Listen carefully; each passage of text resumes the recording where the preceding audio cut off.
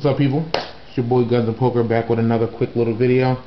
Um, as you can see what you have here is the NRA. Um, I'm kind of going to piggyback um, the, um, Frankenstein's video a little bit. Um, basically he was asking about NRA, should you join, is he going to join, he did join, all that good stuff. Back when I had bought my Taurus PT 24-7 in November, uh, whenever you buy a brand new Taurus, they have a deal going with NRA that you get a one year membership free just for buying a new Taurus. Um, this weapon here, my new carry weapon. When I bought this, they let me sign up for the NRA for one year.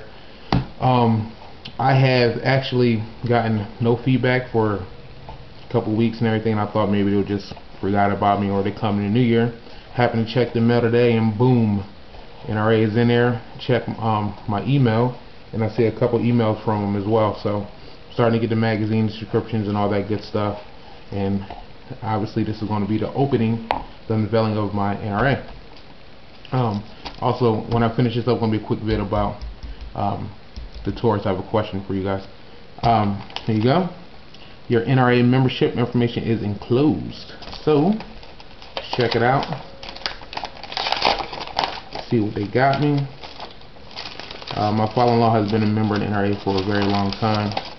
And uh, he told me couple times should join up. So obviously what you're going to see throw that out real quick that is your paperwork. That's my card uh, where you see my thumbs at. Actually I'm covering up obviously my personal information. But um so we got that. Throw that in the wallet. And what else came in here? Uh, probably the same stuff that uh, Frankenstein got. Um, got a nice little letter from good old Wayne. Got that and uh, insurance coverage. I'm looking for my stickers, man. I've been actually waiting to throw one on my truck for I don't know how long. More stuff, more stuff. Ah, there go my stickers. There we go. So this is actually what I was looking for. Is uh, looking forward to that. Throw this on the truck tonight, so I might do a video of it on the truck tomorrow. Um, so I have a, a video coming right after this one about the Taurus and another handgun I want to get you guys' opinion. And since I'm on vacation, well not vacation, but since I'm off for the holidays until uh, Monday, I'm probably going to do another video for you guys It's going to be an update of all the guns I own. Um, quick little overview.